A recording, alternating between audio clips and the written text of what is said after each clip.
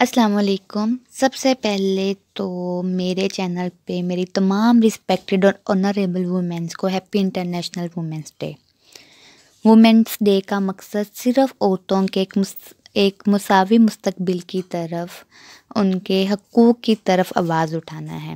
وہ حقوق جو نبی پاک صلی اللہ علیہ وآلہ وسلم نے آج سے چودہ سو سال پہلے خواتین کے لیے مقرر کیے، ہر جگہ پہ ان کو برابر کے حق دیے۔ آج کے دن کا مقصد صرف ان کے لیے آواز اٹھانا ہے۔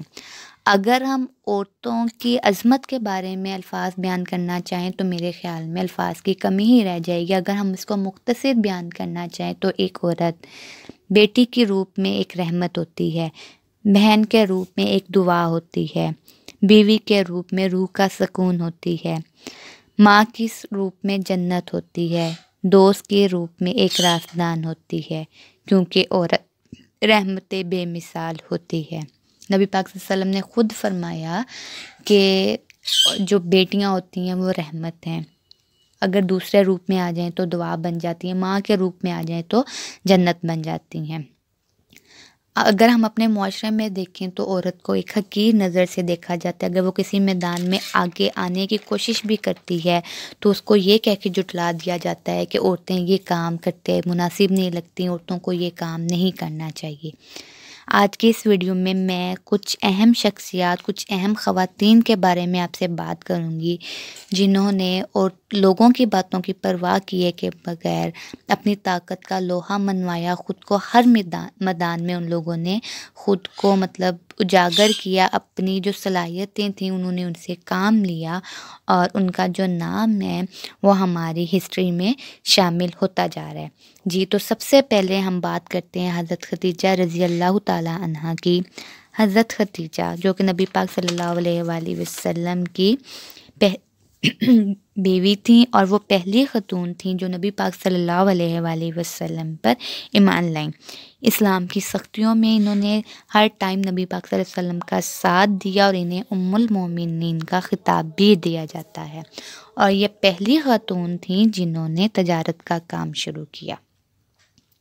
اگر ہم بات کرنا چاہیں دوسری جو ہماری مسلمان خواتین میں مشہور ترین ہیں، فاطمہ جناب۔ انہیں مادر ملت کا خطاب دیا جاتا ہے، خاتون پاکستان کا نام دیا جاتا ہے۔ پاکستانی سیاست دان تھیں دانتوں کی ڈاکٹر بھی تھیں اور اپنی ریاست کی مشہور ترین خاتون بھی تھیں۔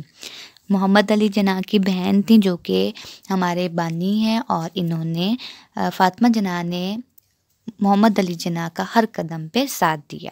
اب ہم بات کرتے ہیں بیگم شائستہ کرام اللہ کی۔ بیگم شائستہ کرام اللہ دستور ساز اسمبلی کی پہلی نمائندہ مسلمان خاتون تھیں اور انہیں امن کی سفیر کے طور پر مختلف ممالک کی نمائندگی کے طور پر بھیجا جاتا تھا۔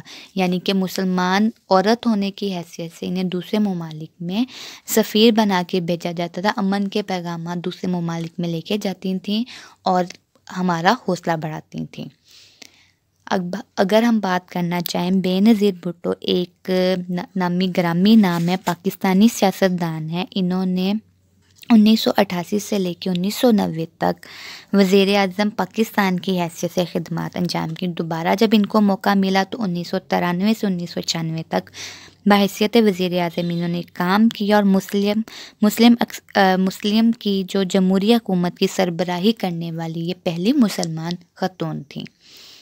اگر ہم بات کرنا چاہیں فہمیدہ مرزا فہمیدہ مرزا ایک پاکستانی سیاستدان ہے جو بیس اگست دو ہزار اٹھارہ سے موجودہ وفاقی وزیر ہیں اور انہیں صوبائی حکومت کی حیثیت سے کام کرنے کا موقع ملتا ہے اور انہیں پاکستان کی قومی اسمبلی کی اٹھارہویں اسپیکر مانا جاتا ہے جو کہ ہر جگہ پہ اپنی طاقت کا لوہا منوا رہی ہیں۔ یہ کچھ مثالیں ہیں کہ عورتیں جو ہیں وہ کسی بھی میدان میں پیچھے نہیں رہ سکتی ملالہ یوسف زئی پاکستانی خواتین میں ایک مشہور ترین نام کم عمر نوجوان لڑکی آنے والے ٹائم کی عورت ملالہ یوسف زئی کو ملالہ کے نام سے مسوخ کیا جاتا ہے۔ خواتین تعلیم کے لیے ایک پاکستانی کارکن اور نوبل انعام یافتہ سب سے کم عمر یہ خاتون ہے اور یہ لڑکیوں کو اسکول جانے کے بارے میں جو پابندی لگی تھی، ان کو انہوں نے ختم کیا اور اپنا نام کموایا شرمین عبید اللہ ایک پاکستانی خاتون ہے جو کہ کینیڈا میں رہتی تھیں انہوں ایک صحافی تھیں، فلم ساز تھیں اور ایک ایک اہم سیاسی کارکن تھیں۔ فلموں میں کام کے علاوہ انہوں نے خواتین کے لیے عدم مساوات کا اصول اجاگر کروایا۔ دو اکیڈمی ایوارڈ چھ علمی ریکارڈ اور ایک انٹرنیشنل جرنلزم ایوارڈ بھی وصول کر چکی ہیں اور یہ اب پاکستانی کی مشہور خواتین میں شامل ہیں۔ عرفہ عبدالکریم رنداوا ایک پاکستانی طالب علم اور کمپیوٹر کی ماہرین شخصیت ہیں۔ انہوں نے سافٹ ویئر، اپنا سافٹ ویئر کم عمری میں سافٹ ویئر بنا کے بنا کے پاکستانی خواتین کے لیے کام میں اہم کردار ادا کیا اور انہیں، ان کے کارنامے پہ جینیس بک آف ایوارڈ بھی نوازا گیا اور یہ کم عمر بچی تھی مطلب جنہوں نے یہ سافٹ ویئر انٹروڈیوس کروایا تھا۔ عائشہ فاروق عائشہ فاروق ضلع بھاول پور کے ایک شہر حاصل پور سے تعلق رکھتی ہیں پاکستانی لڑاکا پائلٹ ہیں جو کہ پاک فضائیہ میں لڑاکا پائلٹ بننے والی پہلی خاتون ہے یعنی کہ یہ پائلٹ تھی سب سے پہلی خاتون تھی یہ۔ اور دو ہزار تیرہ میں ان کی جو ہے حتمی امتحانات کے دوران میں شہادت انہوں نے وصول کی تھی، لیکن یہ پہلی مسلمان جو تھیں پائلٹ خاتون تھیں۔ اگر ہم بات کرنا چاہیں تبسم ادنان تبسم ادنان وادی سواد سے تعلق رکھنے والی ایک پاکستانی خواتین کی کارکن ہیں۔ انہوں نے پاکستانی خواتین کے لیے انصاف کے حصول میں کوششیں کر کر کے امریکہ جو محکمہ خارجہ سے دو ہزار پندرہ میں بین الاقوامی خواتین جرت کا ایوارڈ حاصل کیا۔ یعنی کہ ہماری خواتین کسی بھی میدان میں میں پیچھے نہیں ہے ہر جگہ پہ اپنی طاقت کا لوہا منوا رہی ہیں۔ سمینہ خلیل بیگ، اگر میں آپ سے ہونیسٹلی کہوں تو میں ان کے بارے میں نہیں جانتی تھی۔ کل جب میں ہسٹری پڑھ رہی تھی تو میں نے ان کو پڑھ پہلی دفعہ پڑھا۔ پاکستانی اونچائی پہ جانے والی یہ پہلی خاتون ہے جو کو پیما پر گئیں۔ دو ہزار تیرہ میں ماؤنٹ ایوریسٹ اور پھر دو ہزار چودہ میں جو ہماری سیمن اسمتھ ہے، وہاں پہ چڑھنے والی پہلی خاتون ہے۔ اور یہ سب سے کم عمر خاتون یعنی کہ اکیس سال میں انہوں نے ماؤنٹ ماؤنٹ ایوریسٹ پہ چڑھ کے اپنا جو نام تھا اس کو روشن کیا تھا۔ مس طائرہ ان کو جب میں پڑھ رہی تھی تو مجھے وہ ثانیہ پشاور جو دو ہزار چودہ میں ہوا تھا، مجھے بڑی شدت سے وہ یاد آنے لگا اور مجھے ان کے لیے دعا کے سوا میں کچھ نہیں کر سکی۔ مس طائرہ قاضی جو ہیں، ایک ماہر تعلیم ہے army public school college Peshawar کی یہ پرنسپل تھی اور چودہ سولہ دسمبر دو ہزار چودہ کو پشاور حملے میں ہلاک ہو گئی اور ان کا جو نام ہے وہ پشاور اسکول کے، اس آج بھی نوٹس بورڈ پہ درج ہے۔ رافیہ بیگ رافیہ بیگ کا ان کو ایک پاکستانی پولیس آفیسر ہیں جو کہ دھماکے کے دوران میں مطلب شہید ہو گئی تھیں نوشہرہ میں۔ دھماکہ جب ہوا تھا ڈسپوزل نامی وہ دھماکہ ہوا تھا جس میں یہ شہید پاگی تھی۔ اس ٹائم میں اکتیس پولیس اہلکار تھے جن میں اپنے نوشہرہ شہر میں سلیکٹ ہونے والی یہ پہلی مسلمان خاتون تھی۔ پولیس اس میں جو خواتین آئی تھیں۔ اور اگر ہم بات کرنا چاہیں، بلکہ اس عدی واقعی میں میری فیوریٹ پرسنالٹیز میں سے ہیں، یہ عبدالستار عدی کی بیوہ ہیں اور یہ بلکیس عدی ایک پیشہ ورانہ نرس ہیں۔ عدی فاؤنڈیشن کے شریک چیئرمین کی حیثیت سے خدمات انجام دینے کے علاوہ، پاکستان میں حقوق خواتین کے حقوق کے لیے ہر ٹائم یہ سرگرم رہتی ہیں اور انہیں دی مدر آف پاکستان کا نام بھی دیا جاتا ہے۔ عبدالستار عدی کی بیوہ تھیں۔ مبرہ مرزئی ان کو بھی کل میں نے فرسٹ ٹائم ہسٹری میں پڑھا اور میں واقعی میں بہت زیادہ ان سے بھی امپریس ہوئی۔ ایک پاکستانی کارکن اینکر ہیں آرٹسٹ ہیں ماڈل ہیں، گلوکار ہیں اور ایک ہماری حوصلہ افزا اسپیکر ہیں۔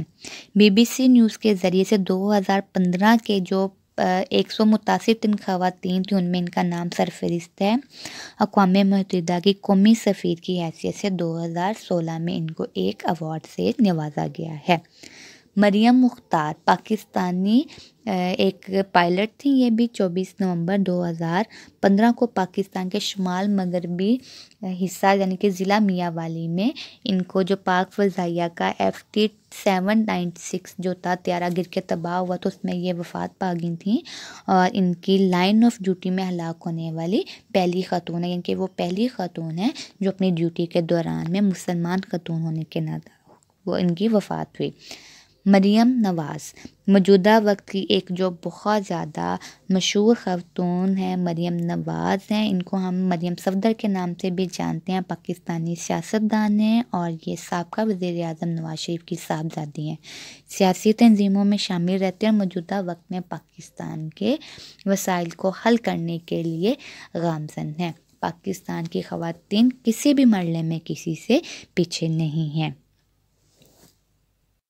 اب آپ مجھے بتائیے گا کہ آپ کو، آپ کس والی مطلب خاتون سے سب سے زیادہ متاثر ہوئے ہیں؟ ان خاتون کو بھی شامل نام کو شامل کیجیے، جن کو میں نہیں شامل کر سکی ہوں۔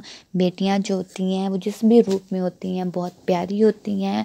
ان کے جو حقوق ہیں، وہ آج نبی پاک صلی اللہ علیہ وسلم نے خود مقرر کیے تھے۔ اللہ تعالیٰ ہم سب کی عزتوں کی حفاظت فرمائے، اپنا خیال رکھیے گا۔ اللہ حافظ۔